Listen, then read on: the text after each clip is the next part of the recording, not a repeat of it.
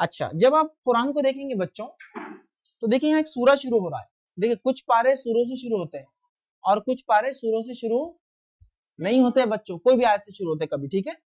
अगर नहीं कोई पारा सूरज से शुरू हो रहा है तो यहाँ इसके सूर्य की डिटेल्स है। देखिए फ़र्स्ट हेडिंग देखिए, पहले क्या लिखा हुआ है? सूरत का नाम सूर्य मुल्क। देखिए, यहाँ लिखा हुआ है। फ़र्स्ट मुल्क। उसके बाद, बिस्मिल्लाह लिखा, उसके बाद यहाँ लिखा हो रहा था इस सूरत में कितनी आयतें हैं? और फिर नीचे लिखा हुआ था, इस सूरत में कितने रुकू है? मतलब एक सूरत आयत और रुकू में डिवाइड होती है। समझ रहे बात को? अब आयत है, कैसे मालूम होगा बच्चों? देखो यदील मुल्कु कदीर। ये है पहली आयत। तो आयत खत्म होती, कैसे मालूम होता है? देखिए, नंबर लिखा हुआ है। एक गोल है, राउंड, और उसमें वन नंबर है। दूसरी आयत खत्म होती, क्या लिखा हुआ है? टू है। अरबिक में लिखा हुआ है। तीसरी आयत खत्म होती? क्या लिखा हुआ? थ्री है। तो आपको पता चल जाएगा, आयत खत्म कैसे हो रही है? राउंड आ जाएगा। कुछ पुराने कुरान जो होते हैं बच्चों, उस कॉपी में अंदर नंबर नहीं होता, खाली एक राउंड डाला हुआ होता ठीक तो ये कुरान है। जब हमको कुरान पढ़ना, रोक देना है, समझो आप कुरान पढ़ रहे हैं, अब आपको रुकना है। तो कहाँ रुकना है? कोई भी आयत के एंड पर आकर। जैसे आपको ये पेज पे आज खत्म कर देना है तो आप फ़र्स्ट आयत पढ़ेंगे सेकंड और थर्ड को खत्म कर देंगे।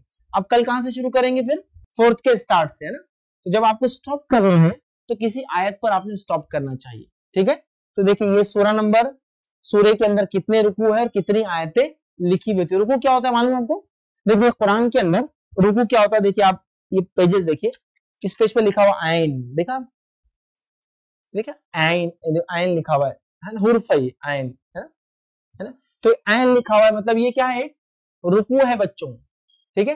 तो कुरान थर्टी पारों में डिवाइड किया गया। सात मंजिलों में डिवाइड किया गया। कोई भी पारा शुरू होता है तो उसकी पहली या तो सूरज शुरू होता है, सूर्य के नाम से शुरू होता है, या फिर अगर कोई आयत है तो आयत से शुरू होता है। जब कोई सूरज शुरू होता है, बच्चों तो सूर्य का नाम होता है। उसमें कितने रुकू है कितनी आयत है, आयत को कैसे पहचानेंगे आप? कुरान का एक सेंटेंस के बाद एक गोल होता है, उसमें नंबर लिखा होता है, ये आयत है। तो ये था पारे, हमने देखा सूरतों के बारे में और रुकू और आयतों के बारे में हमने आज देखा कुरान के ताल्लुक से। क्या आपने कुरान